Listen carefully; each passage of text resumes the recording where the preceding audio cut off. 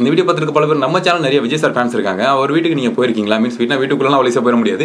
அவர் வீட்டுக்கு இருக்க ஏரியாவுக்கு போயிருக்கீங்களா? அந்த ரோட்டில் அந்த பெரிய கதவு இருக்குங்களா போயிருக்கீங்களா? நான்லாம் போயிருக்கேன். நல்லா இருக்கும் அந்த ஏரியாவே சூப்பராக இருக்கும். பார்த்துட்டு வர வரையும் ரைட்டுங்க ஆனா அதை தாண்டி சில வேலைகள் சில பேர் பண்றப்ப ஈவன் விஜய் சாராக இருந்தாலுமே என்ன பண்ணுவார் அப்படின்னு ஒரு சின்ன கற்பனை.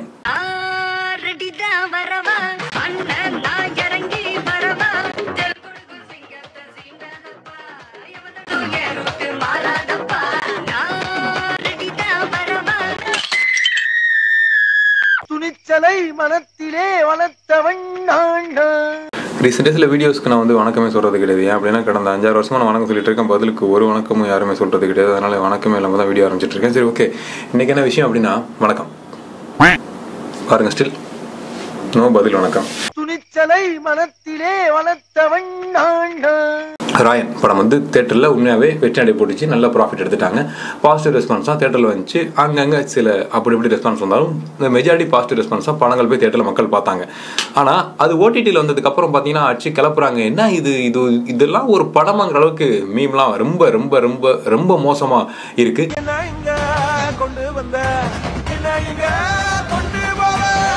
குடும்பமே பைத்தியமாடா. உங்களை மாதிரி தான் நானும் பார்ப்பேன். இதில் ரைட்டாக இருக்கா தப்பாக இருக்கா அப்படின்னு. தப்பாக இருந்தால் தப்பு ரைட்டாக இருந்தால் ரைட்டு ஸோ அப்படி இருக்கப்ப வாங்க அந்த மீம் மிக மோசமான மீம்ஸ் எல்லாம் வச்சு பேசி பதில் சொல்லலாம். தப்பா ரைட்டான அவன் ரத்தத்தில் பிறந்த குழந்தை எனக்கு வேண்டாம் நீ நீயே வைத்துக்கொள். ஒரு காதல் பண்ணுறாங்க வெறித்தனமான காதல் பண்ணுறாங்க மீன்ஸ் எல்லாருமே எதுக்குறப்ப? அண்ணன் இந்த பக்கம் எதுக்குறாரு அந்த பையனை. அப்பா இந்த பக்கம் மாப்பிள்ளைங்கிறவன அடிச்சு விரட்ட பாக்குறாரு. நீ எல்லாம் என் பொண்ணுக்கு ஹஸ்பண்டா பாக்குறியா புருஷனா பாக்குறியா அப்படின்னு அடிச்சு விரட்டிட்டே இருக்காரு. ஒரு பாயிண்ட்ல அப்பாவை போட்டு அடிச்சிடறாரு இவர். சோ அந்த அளவுக்கு பொண்ணோட அப்பாவுக்கு மாப்பிள்ளை மேல கடும் கோபம். எல்லா சைடும் எதிர்க்கிறாங்க. ஃபினான்ஷியலாகவும் அவர் ஸ்ட்ராங்காக கிடையாது. இதெல்லாம் தாண்டி அவங்க மேரேஜ் பண்ணி குழந்தை பிறக்குது. ஸோ அப்படி பிறக்கிறப்ப அந்த குழந்தை மீன்ஸ் இவர் தப்பான மோட்டோல ஏங்கிட்டாருங்க தப்பா மேனிபுலேட் பண்ணப்பட்டு அவங்க அண்ணனே கத்தி குத்துற அளவுக்கு போயிட்டாருங்க. அது குழந்தைங்க அது குழந்தை அதுக்கு என்ன தெரியும்? அது அது அப்பதான் பிறந்து வளர்ந்துகிட்டு இருக்கு. அம்மா கிட்ட பால் குடிச்சிட்டு நினைக்கிறேன். குட்டி குழந்தை அது. ஸோ அதை தூக்கி கொடுத்துட்டு போகுதுன்னா தன்னோட கணவன் மீது என்ன மாதிரி பார்வை வச்சிருந்தீங்க நீங்க? ஓகே. அவன் தப்பு பண்ணிட்டான் அவங்க அண்ணன் வந்து பதிலுக்கு போட்டு தள்ளிட்டான் ஓகே ரைட் ஆனா அவன் கொடுத்துட்டு போன உயிர்னு ஒண்ணு இருக்குல்ல காதல் பயங்கரமான காதல் பண்ணீங்க டான்ஸ் எல்லாம் ஆடுனீங்க ட்ரெண்டிங் டான்ஸ் ஆடுறீங்க. உன்னை இப்போ நான் பலாருன்னு அறிவேன். மூடின்னு வாங்கிக்கணும். அதுக்கு பேசிக்கா அட்லீஸ்ட் அந்த குழந்தைய வளர்க்குற ப்ராசஸாவது பண்ணலாம்ல தப்பு இல்லையே. ஒரு காதலித்த பெண் ஒரு பாயிண்ட் தெரியுது அவன் ரொம்ப ரொம்ப மோசமானவன். ரைட் அவன் செத்தும் போயிடுறான். ஆனால் அதுக்காக அந்த குழந்தைய தூக்கி அவங்க அண்ணங்கிட்டே கொடுத்து நீயே பாத்துக்கிறது ரத்தத்தில் பிறந்த குழந்தை எனக்கு இது வேண்டாம் தூக்கி கொடுத்துட்டு போகிறதுங்கிறது எஸ் தைரியம் தான் அந்த பொண்ணுக்கு சரியான தைரியம். இருந்தாலும் தப்பா இருக்கேன் அந்த குழந்தை பாவம் இல்லையா? அந்த குழந்தை பாவம் இல்லையா? அந்த குழந்தை பாவம் இல்லையா? அடி பாவி. ஒரே அடியில ரெண்டு பேர் அப்படியே சுக்கு சுக்கா நொறுங்க போறீங்க. எந்த குழந்தையும் நல்ல குழந்தை தான் மண்ணில் பிறக்கையிலே.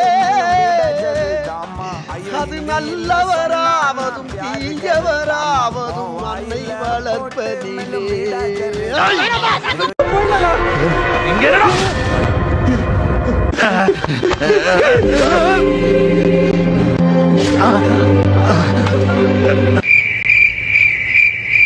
இல்ல இதெல்லாம் ரொம்ப ரெஸ்பான்ஸா இருக்கும்னு எதிர்பார்த்து பண்ண ஒரு விஷயம்.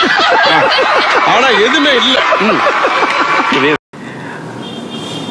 ஆக்சுவலாக தேட்டர்லேயுமே அப்படிதாங்க இருந்துச்சு. மக்கள் லைட்டாக கன்ஃபியூஸ் ஆயிட்டாங்க. மீன்ஸ் குத்துறப்போ ஐயோ அண்ணனே குத்தி விட்டாங்களே அப்படின்னு நம்ம கஷ்டமா தான் இருந்துச்சு. என்ன சொல்றது? டு பி ஃப்ராங்க் சொல்லணும் அப்படின்னா இயக்குனர் நினைச்ச ஒரு விஷயம் இது மக்களுக்கு இப்படி தான் கன்வே ஆகும் இந்த பாயிண்ட்ல அப்படின்னு அவர் நினைச்ச விஷயம் அது ஆக்சுவலாக அப்படி கன்வே ஆகல. தேட்டர்ல பாக்குறப்ப இந்த கட் இல்லாமல் அந்த பின்னாடி உள்ள இந்த காமெடி கட் இல்லாமையே அதான் தேட்டரில் ரெஸ்பான்ஸாக இருந்துச்சு.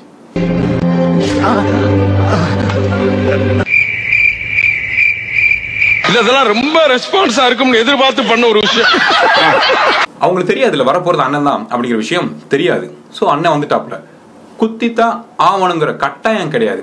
ஏன் அப்படின்னா ஒருத்தர் உங்களை கைட் பண்ணி வளர்த்துக்கிட்டு இருக்காரு காசெல்லாம் கொடுக்குறாரு உங்களுக்கு தேவையான எல்லாமே பார்த்துக்கிறாரு. ஆனா ஸ்டில் குத்த போறது உங்க அண்ணன். உங்கள் அண்ணன் வளர்ந்து வந்த பாதை என்ன? அவரோட மோட்டோ என்ன? அவர் எப்படி முடிவெடுப்பார்? அவர் முடிவெடுத்து அது எப்படி தப்பாகும்? அவர் ஒருத்தனை போட வராரு அப்படின்னா அதுக்கு பின்னாடி என்ன ஸ்டோரி இருக்கும்? அப்படிங்கிற விஷயங்கள்லாம் அவங்க கொஞ்சம் யோசிச்சா கூட அண்ணனுக்கு பின்னாடி நின்று எஸ். ஜே. சுரேஷ் சார் போட்டு படம் அப்பயே முடிஞ்சிருக்கும். ரெண்டு கேரக்டர்ஸும் கன்ஃபியூஷன் என்ன நடக்குதுன்னே புரியல ஆனால் அது செஞ்சாகணும் ஏன்னா நமக்கு ஒருத்தர் பயங்கரமாக சப்போர்ட் பண்ணியிருக்காரு. ஈவன் அண்ணன் இருந்தாலும் சொல்லி தான் ஆகணுங்கிற அந்த கன்ஃபியூஷனை தான் அவங்க ரியாக்ஷனாக காமிச்சிருக்காங்க. நடிப்புங்கிறது ரொம்ப ரொம்ப கஷ்டமான விஷயம். எப்போ அப்படின்னா அதை நம்ம பர்ஃபெக்டாக ப்ராப்பராக அதோட டெப்த் முழுசா தெரிஞ்சு உணர்ந்து உணர்ந்துட்டோம் அப்படின்னா அதை பற்றின பயம் கண்டிப்பாக வந்துடும் அழாதீங்கம்மா சங்கீதா அழாதம்மா ஆனால் நடிக்கலாம். ஈஸியாகவும் நடிக்கலாம். எப்படி அப்படின்னா அவருக்கு ஒண்ணும் ஆகாது. தைரியமா இருங்க. எனக்கு என்ன ஆச்சரியமா இருக்கு அப்படின்னா நாடகம் அப்படிங்கிறப்ப daily daily daily daily process பண்ணிட்டே இருக்கணும். அது ரொம்ப ரொம்ப கஷ்டம். அதுக்குள்ள இருந்தால் மட்டும் தான் தெரியும். ஆனா ஸ்டில் இந்த ஃபுட்டேஜை பார்த்துட்டு இதுக்கு டப்பிங் பண்ற ஆர்டிஸ்டா இருக்கட்டும் இல்ல எடிட்டரா இருக்கட்டும் எப்படி இந்த ஷாட்லாம் ஓகே பண்ணாங்க அப்படின்னு நமக்கு இன்னுமே ஒண்ணுமே புரியல. அவர் கோமா ஸ்டேஜுக்கு போயிட்டார். கொண்டு வந்த? குடும்பமே பைத்தியமாடா. ஆக்சுவலா இதை நம்ம அப்படி எடுத்துக்க கூடாதுங்க. இது ஒரு கலைப்படைப்பு. ஸோ இந்த விஷயத்த இந்த தீமை இப்படி தான் முடிக்க முடியும். ஆக்சுவலாக தனுஷ் இந்த படத்தில் கிளைமேக்ஸ் சீக்வன்ஸில் ஆடாத வரைக்கும் ஒரு மாதிரி பயமாக இருக்கும் பொருந்தி போகும். ஆனால் ஒரு பாயிண்ட்ல அவர் ஹெவியாக அந்த உசுரே பாடலாம் வேண்டாம். அந்த அந்த அந்த இடம் வரும்ல. ஸோ அங்கே ஆட ஆரம்பிச்சிருவார். தன்னோட தங்கச்சியை பார்த்துட்டு ஜாலியாக ஒரு மாதிரி ஆட ஆரம்பிச்சிருவார். அது வரைக்குமே ஓகே ஆனால் ஹெவி குத்து குத்துறப்ப தான் நமக்கு ஒரு மாதிரி என்ன இது ஓகே ஏதோ பண்ண பண்ற பிளான்ல இருக்காங்க. அவரும் சரி தங்கச்சியும் சரி பிளான்ல இருக்காங்க ரைட்டு ஆனால் இந்த குத்து குத்துறாங்க இது இது இது இது பொருந்தலையே இது. ஏன்னா நடந்த விஷயம் ரொம்ப டார்க்கான விஷயமாச்சு. அதை தாண்டி இந்த குத்து குத்துறாங்க. ஈவன் அவங்க குத்துறது குத்தாட்டம் போறது கூட பிரச்சனை கிடையாதுங்க. ஆனால் அதுக்கு காரணமான ரெண்டு பேர் சைடில் இன்னும் அதை விட ஹெவியாக குத்திக்கிட்டு இருக்காங்க.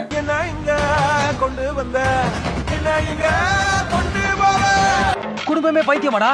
அது ஒரு மாதிரி தான் இருந்துச்சு தேட்டரில் அதை கரெக்டாக கண்டுபிடிச்சி சொல்லியிருக்காங்க. ஸோ அந்த வகையில் இது ஒரு ஒரு ஒரு கைண்ட் ஆஃப் கரெக்டான மீம் மாதிரி தான் தோணுது. கமர்ஷியல் சினிமா அப்படிங்கிறப்ப அதுக்கான சில விஷயங்கள் செஞ்சுத்தானே ஆகணும். சரி ஓகே இது மாதிரி ஆயிரம் மீம்ஸ் வந்துட்டே இருக்கும். அதை பற்றி நம்ம உட்காந்து ஃபுல்லாக பேசிட்டு முடியாது. உங்களுக்கு நேரம் முக்கியம் எனக்கும் நேரம் முக்கியம். இதுக்கு மேலே உங்கள் நேரத்தை நான் வீணடிக்க விரும்பல. ஆனால் ஸ்டில் எனக்கு இந்த ராயன் மீம்ஸ்லாம் பார்க்குறப்ப ஃபன்னாக இருக்குது ஓகே டன் ஆனால் தள்ளி நின்று பார்க்குறப்ப எனக்கு எப்படி தோணுது அப்படின்னா எஸ் இப்போ ஒரு இஷ்யூ நடந்துச்சுல சிவகாரன் சார் வந்து பேசினாரு தனுஷ் பற்றி தான் பேசிட்டாருன்னு சொல்லி நம்ம கூட அதுக்கு ஒரு வீடியோ போட்டிருந்தோம். அவர் பற்றி பேசியிருந்தா அது தப்பாக தான் இருக்கு. ஒரு டைம் வேணும்னே ராயன் படத்தை டவுன்லோட் பண்ணி வச்சுக்கிட்டு பொறுமையாக உட்காந்து பிட் பை பிட்டாக பார்த்து ட்ரோல் பண்ணணும் அப்படின்னா எல்லா படத்தையும் ட்ரோல் பண்ணலாம். ஸோ அப்படி ஒவ்வொரு பாயிண்டாக பார்த்து ஃபோர்ஸ்ஃபுல்லாக ட்ரோல் பண்ணுற மாதிரி தான். மீன்ஸ் ராயன் படத்தை எப்படியாவது இது ஒரு படமே கிடையாது. அப்படிங்கிற விஷயத்தை எப்படியாவது ட்ரோல்ஸ் மூலமாக புஷ் பண்ணிடணும் அப்படிங்கிற மாதிரி தான் எனக்கு தோணுது. உங்களுக்கு என்ன தோணுது அப்படிங்கிறத மறக்காம கமெண்ட் செக்ஷனில் சொல்லுங்கள் தோணுது இல்லை? துணிச்சலை மனத்திலே வளர்த்தவன். வணக்கம். சொல்லவே மாட்டாங்க அவங்க. வணக்கம் சொல்லவே மாட்டாங்க.